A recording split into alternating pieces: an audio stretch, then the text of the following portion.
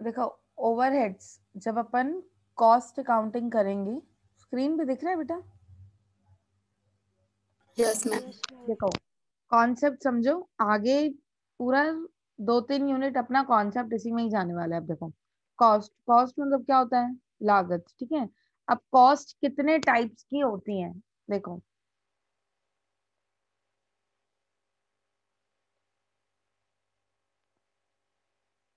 White दिख रहा है पूरा?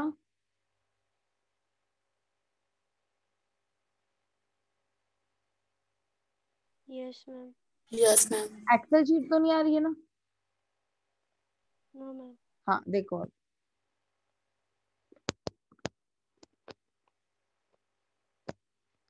देखो कॉस्ट अकाउंटिंग में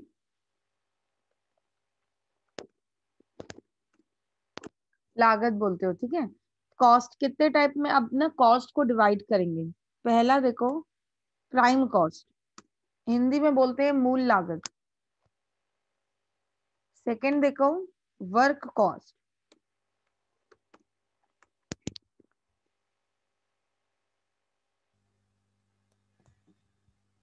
वर्क कॉस्ट को हिंदी में बोलते हैं कारखाना ऊपरी व्यय याद रखना, ये कारखाना जो फैक्ट्री की कॉस्ट होती है, इसको एक और नाम देते हैं फैक्ट्री कॉस्ट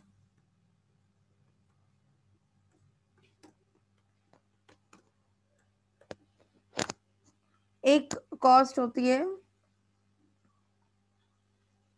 अब देखो, अब ये जितनी भी कॉस्ट होंगी सपोज़ जो प्राइम कॉस्ट है, मैं यानी मूल लागत, कारखाना लागत, अब ये भी ना दो दो पार्ट्स में होंगी।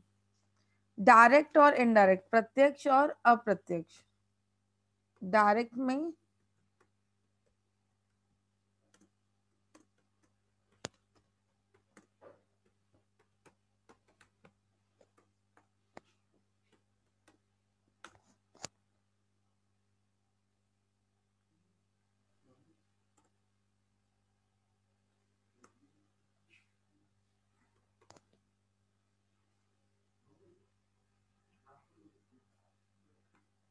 सेम वैसे ही जो फैक्ट्री कॉस्ट होगी, वो भी दो टाइप की होगी डायरेक्ट और इनडायरेक्ट देखो कॉस्ट जो भी हो डायरेक्ट का मतलब यहाँ पे उस कॉस्ट से होगा, जो हमको पता है कि ये किस चीज़ के लिए यूज़ हुई है।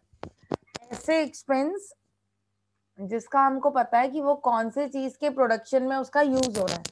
और इनडायरेक्ट में क्या होगा, हम ये डिफ्रेंशिएट नहीं कर पाएँगे कि उसका कौन से चीज़ में एक्सपेंस हुआ है। सपोज़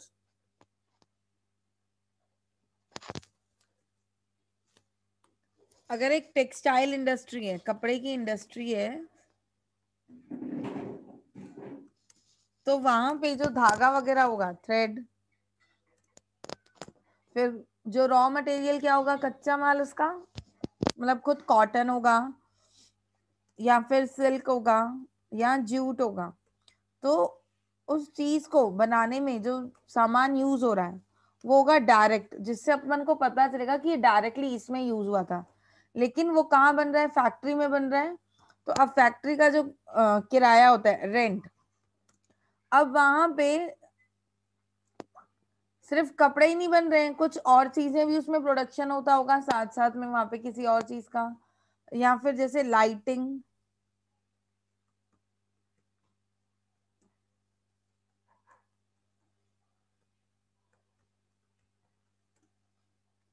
पावर है है ना? लेबर है तो ये ज़रूरी नहीं है कि वो सिर्फ़ उस पर्टिकुलर उसमें यूज़ हो, किसी में भी और में भी वो यूज़ हो सकता है। तो ऐसी कॉस्ट जिसको डिफ्रेंशिएट करना मुश्किल हो जाएगा कि वो कौन से चीज़ में कितना यूज़ हुआ है तो ऐसी कॉस्ट को इनडायरेक्ट बोलेंगे और वो कॉस्ट जो पता चलती है कि वो कौन से चीज़ के प्रोडक्शन में उसका कट टू कट यूज़ हुआ है, वो हो जाती है डायरेक्ट कॉस्ट यहाँ तक किसी को डाउट है? तो मैम अब आगे देखो तो टॉपिक अपन जो कर रहे हैं एलोकेशन अकाउंटिंग है ना? उपरिव्यय के लिए लेखांकन।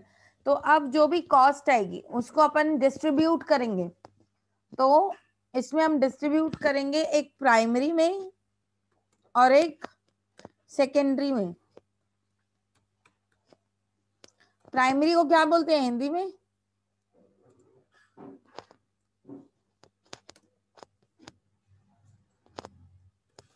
बताओ। प्राइमरी इन शॉर्ट ये समझना अभी, जिसका फ़र्स्ट डिस्ट्रीब्यूट कर रहे हैं, हम एलोकेट कर रहे हैं कॉस्ट को।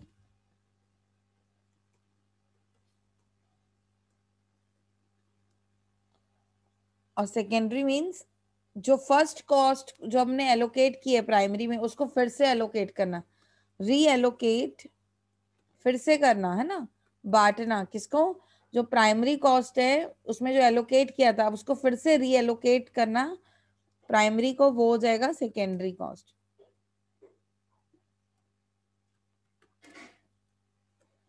अब देखो।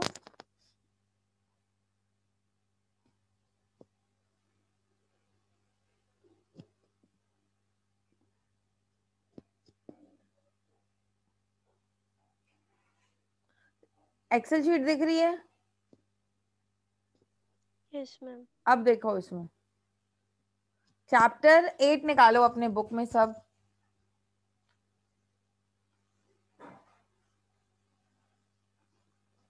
निकाला सबने? चैप्टर एट ओवर एट्स वाला। यस मैम अब देखो एग्ज़ाम्पल वन के जस्ट पहले एक चार्ट बना होगा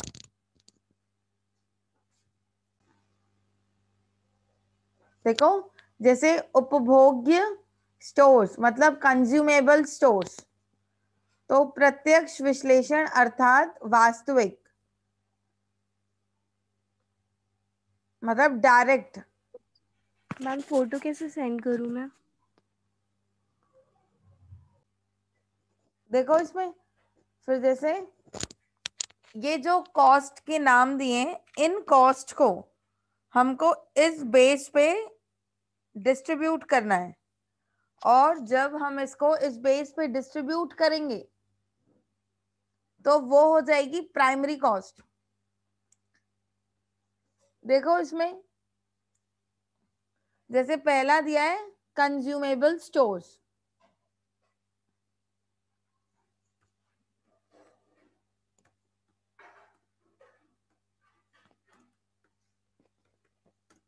किस बेस पे उसको डिस्ट्रीब्यूट करना है? कंज्यूमेबल स्टोर को डायरेक्टली, डायरेक्ट एनालाइज मतलब जो जिस कॉस्ट से रिलेटेड होगा, उसको उसी कॉस्ट में डालना है। डायरेक्ट एनालिसिस मतलब प्रत्यक्ष विश्लेषण।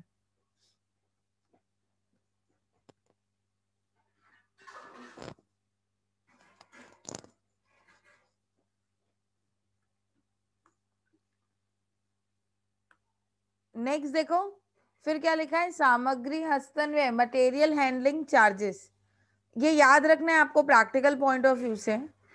मटेरियल हैंडलिंग चार्जेस इसको किस बेस पे डिस्ट्रीब्यूट करने बोला है? Weight of material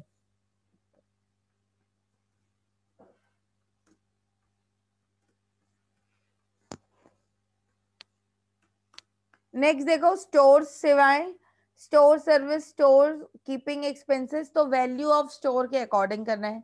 third fourth देखो किराया रेंट और रेट तो रेंट को किस आ, किस पे देना है? ज़मीन का क्षेत्र मतलब फ्लोर और स्पेस के अकॉर्डिंग सपोज़ अगर रेंट आ रहा है आप लोगों का थर्टी फाइव थाउज़ेंड थ्री तीन फ्लोर का है तो आप उसको डिवाइड करोगे उसके फ्लोर के अकॉर्डिंग मतलब टोटल बिल्डिंग का अगर रेंट थर्टी फाइव है और उस बिल्डिंग में तीन फ्लोर है तो थर्टी फाइव थाउज़ेंड को डिवाइड करना थ्री से तो एक फ्लोर का जितना भी निकला सेम वैसे ही विद्युत प्रकाश इलेक्ट्रिक लाइट को नंबर ऑफ़ लाइट पॉइंट्स देखो, विद्युत प्रकाश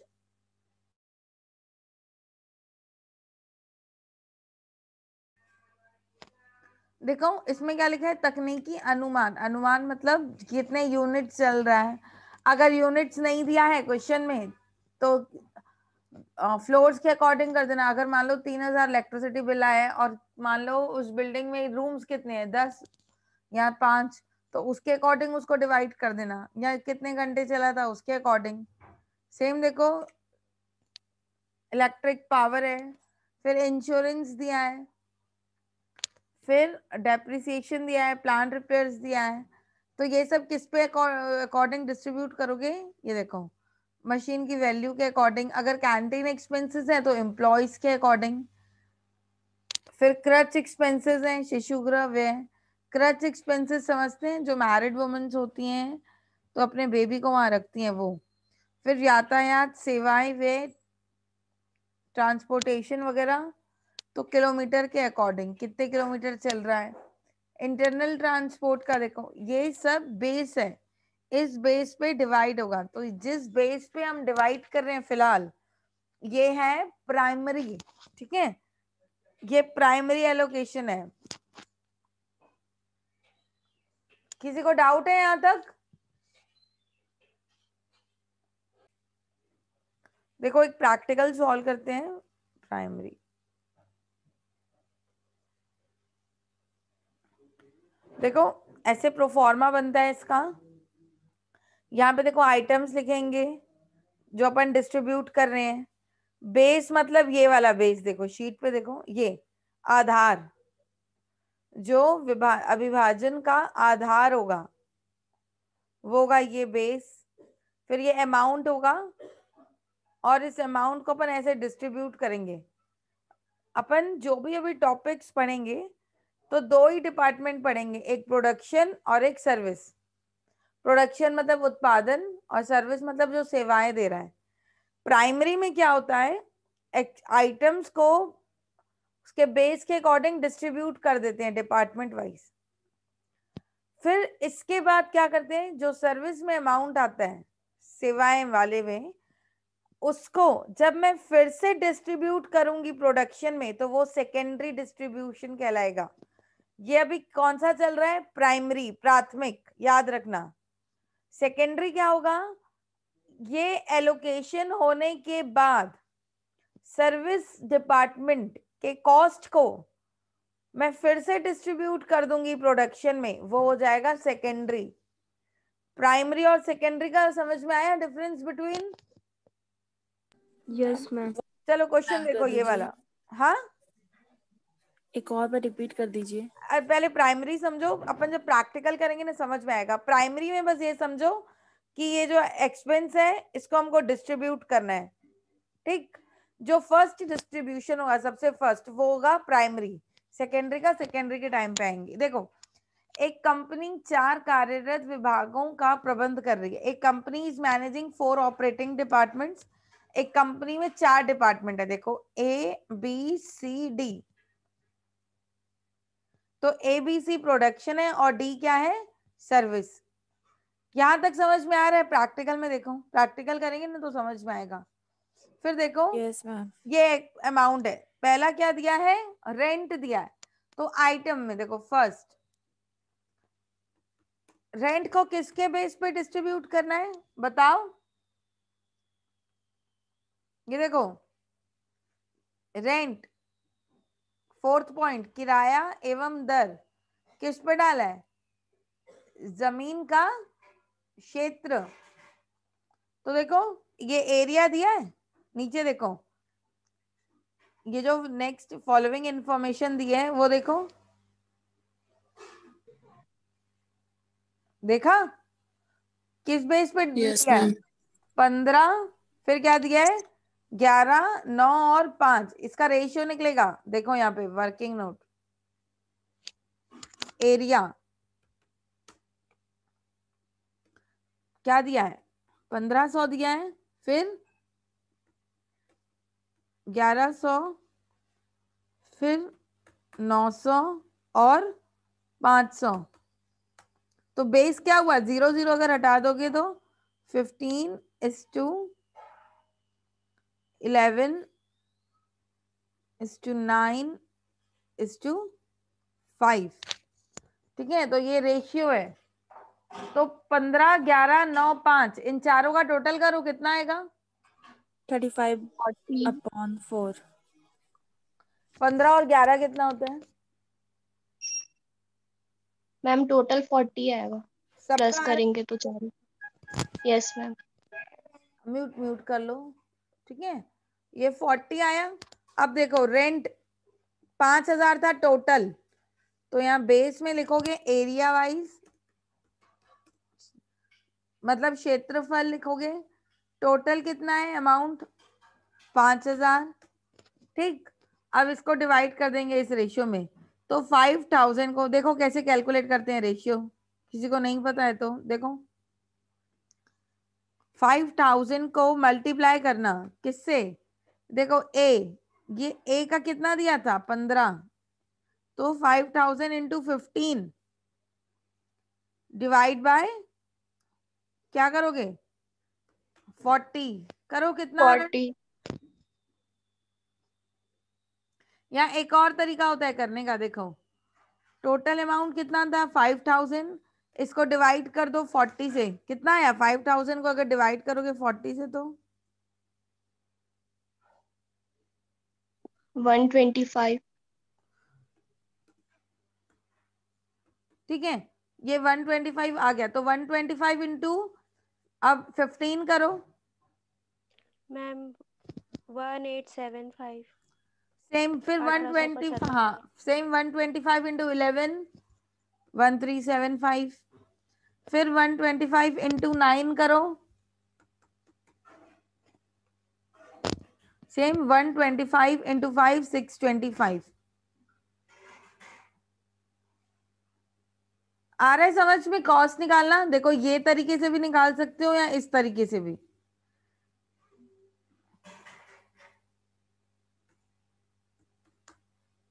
फाइव थाउज़ेंड इंटू इलेवन करो। और फिर उसको डिवाइड कर दो किससे? फोर्टी से। या फिर डायरेक्ट फाइव थाउज़ेंड को डिवाइड कर लो फोर्टी से। जो सिंगल अमाउंट आएगा उसको, उसके रेशियो से मल्टीप्लाई करते जाओ। किसी को डाउट है यहाँ तक? नो मैम नो मैम अब नेक्स्ट देखो रेंट के बाद क्या दिया है? रिपेयर्स तो second point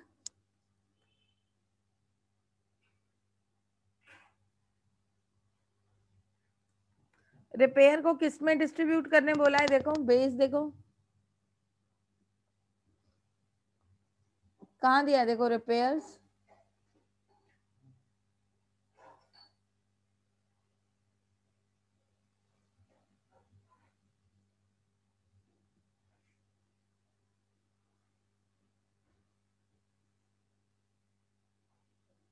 ma'am eighth number वाला। हाँ देखो ना। एलोकेशन एक्चुअल्स वाला। वास्तविक दिया एक्चुअल लेकिन बाजू में क्या दिया है देखो? अब एक्चुअल क्या? क्या लिखा है देखो? संयंत्रों। वैल्यू ऑफ़ प्लांट्स हाँ जिसका है उसका उतना एक्चुअल वैल्यू ऑफ़ प्लांट पे डालना है देखो। तो रिपेयर्स रिपेयर्स किसका होगा? प्लांट का ही होगा। ये वैल्यू ऑफ़ प्लांट दिया है, देखो, संयंत्र का मूल्य कितना दिया है? आठ छ चार, दो। Eight thousand six thousand four thousand two thousand तो डायरेक्ट इसको अगर मैं शॉर्टकट में लिखूं तो क्या लिखूँगी? Eight is to six is to four is to two यहाँ लिख लो value of plant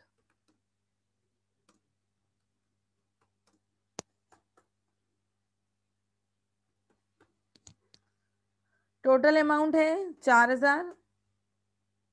चलो इसको कैलकुलेट करो। आठ छ चार और दो कितना होता है टोटल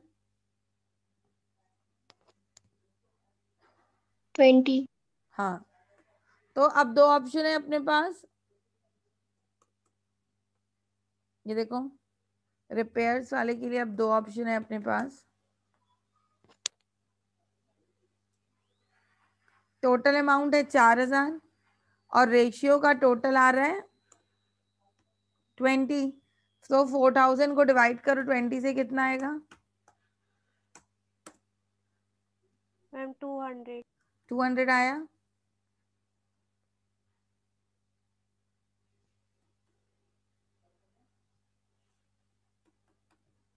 तो देखो अब यहाँ पे तो टू हंड्रेड इंटू एट कितना होगा? sixteen hundred yes ma'am yes ma'am फिर two hundred into six twelve hundred two hundred into four eight hundred और two hundred into two four hundred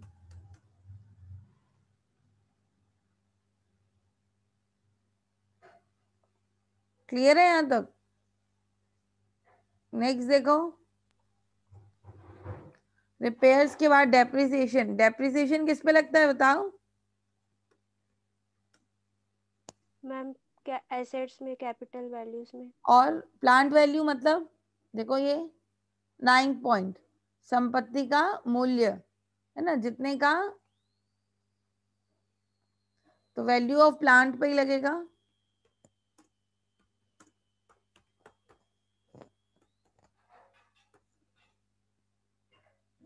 कितने का दिया है देखो? Double two five zero. अब देखो वैल्यू ऑफ़ प्लांट फिर से वही है जो इसमें था। आठ छ चार दो। है ना सेम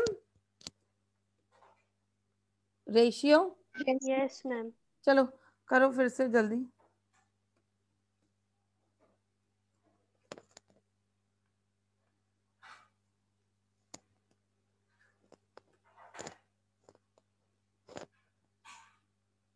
बताओ आंसर क्या आया?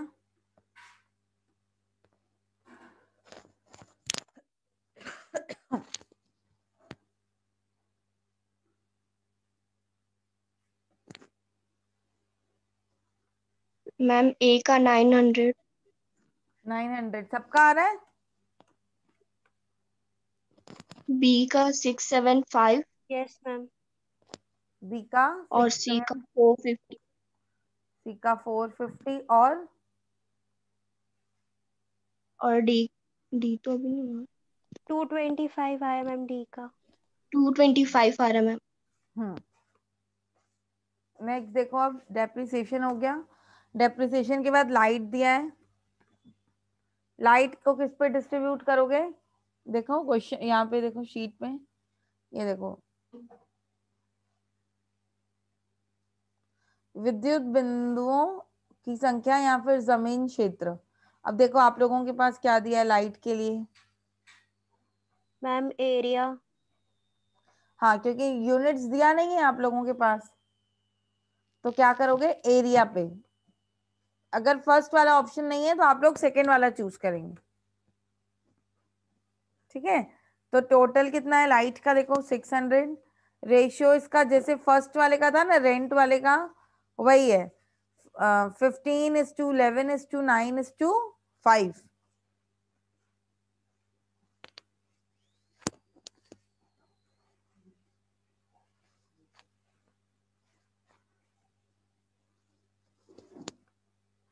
करो डिवाइड करो। सिक्स हंड्रेड को पहले डिवाइड कर दो फोर्टी से लाइट के लिए।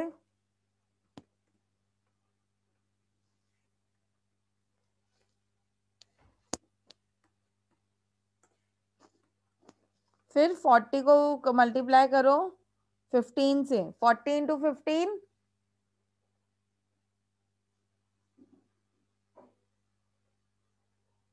six hundred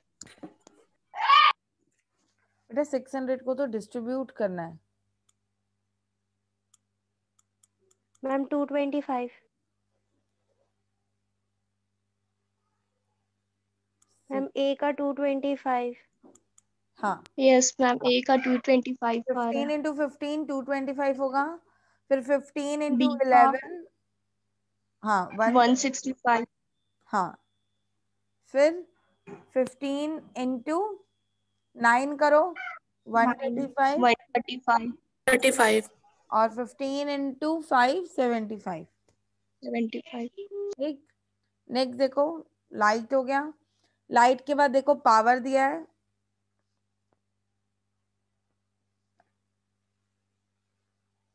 पावर को इस पे लेना प्लांट वैल्यू पे हमेशा।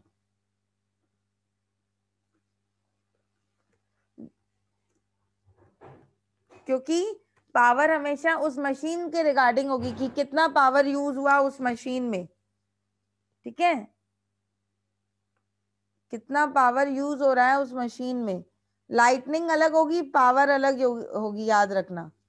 लाइट हमेशा एरिया वाइज लेना अगर यूनिट्स नहीं दिया है तो पावर में भी यूनिट्स नहीं दिया है तो प्लांट वैल्यू के हिसाब से लेना।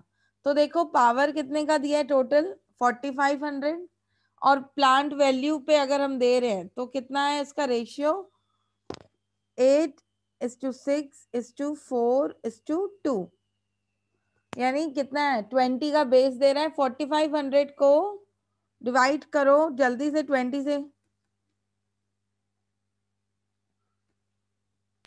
Two two five two two five double two five चलो जल्दी से उसको रेशियो में दो। Double two five into eight करो। एटीन हंड्रेड नेक्स्ट निकालो जल्दी से।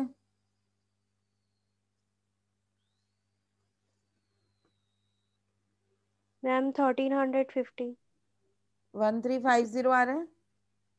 फिर कितना आ रहा है? Two twenty five into four nine hundred हाँ ninety hundred ma'am nine hundred nine hundred हाँ और two twenty five into two four fifty four fifty ठीक? नेक्स्ट देखो अब। ये फिफ्थ हो गया पावर सिक्स देखो अब। सुपरविजन सुपरविजन किस पे लोगे? ये देखो नंबर ऑफ़ एम्प्लॉयज़ पे है ना? उनको सुपरवाइज करेंगे तो एम्प्लॉयज़ कितने चालीस तीस बीस, दस मतलब four is to three is to two is to one हो जाएगा। Four is to three is to two is to one हो जाएगा। तो चार, तीन, दो एट कितना होगा? दस हो जाएगा। सुपरविजन को नंबर ऑफ़ एम्प्लॉयज़ पे लिया। टोटल अमाउंट है सुपरविजन का सेवेंटी फाइव हंड्रेड। यानी सेवन फिफ्टी इंटू फोर करोगे तो आएगा थ्री थाउज़ेंड फिर करोगे seven fifty into three double two five zero फिर seven fifty into two fifteen hundred और seven fifty into one seven fifty